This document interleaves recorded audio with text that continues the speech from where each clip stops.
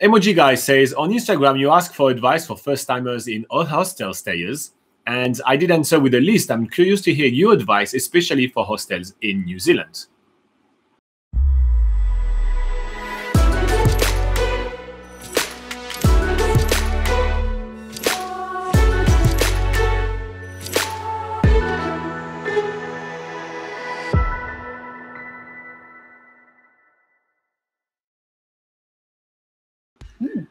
Cool. So yeah, we may share about ten tips with you about the first time staying in a hostel, and uh, yeah, we go over over all of that. So staying in hostel is a really good way to save money when traveling in New Zealand. It's a good way to also find people to travel with when traveling around New Zealand if you travel solo. So I'm going to get started with the first tip that I have to say is that hostel is not just for people that want to stay in a bunk room. There are really good options in hostels to stay in private rooms, even with your own ensuite bathroom, meaning that you don't even have to share the bathroom, and it still can be cheaper than a lot of hotels. But on top of that, it helps you save a lot of money because you have access to a full kitchen, so you can get the advantages of pretty much everything. So you do not have to stay in a bunk room if you want to stay in a hostel. That's my first tip. Yeah.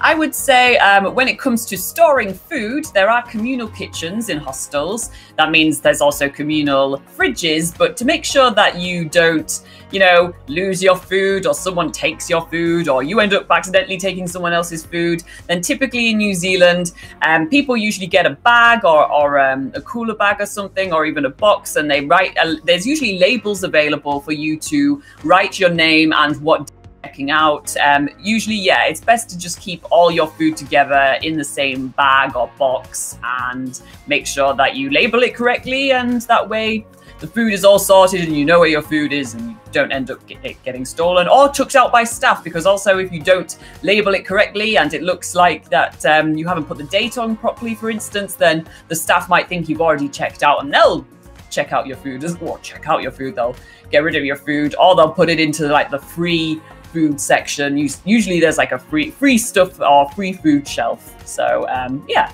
that's about food. All right. So the next thing about the hostel is that it's a, as I mentioned during the introduction, it's a great way to meet other travelers. So um, if you are traveling alone in New Zealand and you feel like you want to spend some time with international travelers, with random people that are traveling as well, and meet some friends from all around the world, which is fantastic. I've done that for years and I love it. Um, it's a great way to it's a great way to meet people. So don't be shy. Spend some time in the kitchen. This is kind of like the most communal place. There is also yeah. obviously some communal, uh, you know, like lounges, eateries, and... lounges, and everything like that. But you know, a hangout by the kitchen. This is where conversation usually sparks and happen. And um, and yeah, borrow some salt from someone and usually the conversation starts from an accent. Say oh where's your accent from? or this and that. And it's a great way to actually meet uh, meet some some people. So a good way also to to find some people to do an activity with is to tell people hey tomorrow i'm going to do whale watching and we're in kaikoura anyone wants to join me? And um, you know you get some people to come and do the activity with you. And at the end of the day you usually all have a meal together and everything. It's a great way to make a solo trip in new zealand a social trip as well and i really love that about hostels so that's tip number three okay uh, tip number four would be um, it would be about laundry. So um, another thing that uh, hostels have are communal laundry rooms where there's lots of um, dryers, there's lots of washing machines.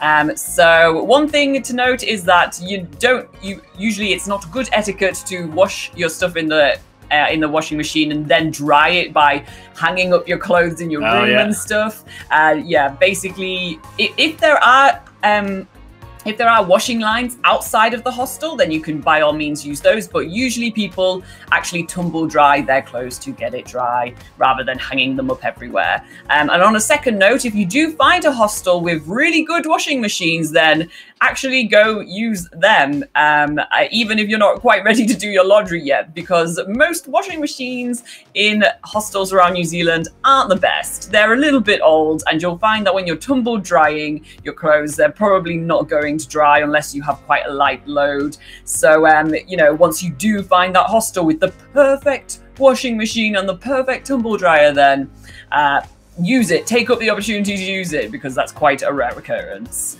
Okay, so the next tip that I'm gonna have uh, for you guys is that you want to be mindful if you stay in a dorm. You don't have to stay in a dorm, as I mentioned very early on, and a lot of couples when they travel around New Zealand choose to stay in a hostel but not in a dorm. But if you do stay in a dorm, just be mindful of other other people. So if you're leaving the next morning and you're leaving quite early because you're catching a flight or a bus or anything like that, just pack everything the night before. Have everything at the ready so you can do the minimal amount of noises. Um, if you are planning to do an activity on the next day and you're leaving quite early, you know, I usually have my clothes for the next day kind of prepared so I can just grab that and, and you know, change myself quite quickly. So yeah, just just be mindful of other people. Same thing like turning off your phone, uh, you know, on silent mode at night, just those kind mm. of things. Being mindful of people is quite important. Yeah, just an extra few tips on being mindful of other people as well. When you are in your dorm, make sure that you be you're tidy so you don't have all your stuff scattered all over the place. Usually people just keep all their stuff either, you know, on the bed that they've decided to take um, or you know just still in their backpack or in their suitcase. Just don't throw things all over the place. Also, wear clothes. you know, some people like to sleep in the nude. Some people like to sleep I'm just in their, French, okay? like to sleep in their underwear and stuff. But you are sharing a room with other people, and you know, but other people might feel uncomfortable if you, you know stripped down when you are walking around the dorm or going to sleep or whatever. So yeah, just just wear some clothes, pack some PJs if you are staying in some dorm in a dorm, and yeah that's another thing. Uh, okay, so on the next tip that I want to talk about right here, I want to, you know, I, I, really want to share something about uh, life in hostels, right? So in a hostel, you cannot have two different type of travelers, maybe three, four, but it's, you know, we do have some article on NZ Pocket Guide where we share like the, the, the type of travelers you're always going to find, but the main difference is that you do have long-termers in hostel and you have people that just pass by. So long-termers are people which are, you know, let's say working in the, in the area or even working in that hostel and they're going to be staying here for like two three four months and then you have people that just pass by and you know you just travel around you stay two nights and then you move on or even just one night right? So just know that at some point if you decide to become a long-termer let's say you are in a town that you really enjoy you're to find a job it is highly likely that you will be moved to a dorm or to a section of the hostel where there is more long-termers so you have to make sure that you are um, you understand what is your place, um, you know, in kind of that hostel, and you know that you know you're gonna be living in kind of a different pace. You know, the long termers are usually kind of eat together, drink together, party together, those kind of. You know, it's kind of like it's kind of a group, and and the travelers are usually much more like fleeting and going, you know, going around and everything. So you'll have more chance to actually do things with the travelers rather than with the long termers, which are just of here, they've done all the stuff around and it's kind of like, you know, they just like to do their own little thing. And usually it's more like the party kind of style. Yeah. All right, moving on to, I think that's our last tip now, Laura. Uh, yeah, the last tip, which you'll actually be reminded of profusely when you go and stay in a hostel, is to do your dishes.